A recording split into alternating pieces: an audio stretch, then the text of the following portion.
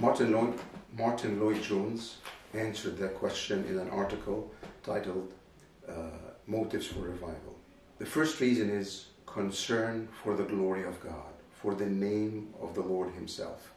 As David and Jesus both said, Zeal for your house consumed me. The second is concern for souls, concern for souls getting saved. So these are the two main reasons. Revival is the answer to the darkness that prevails in the nations.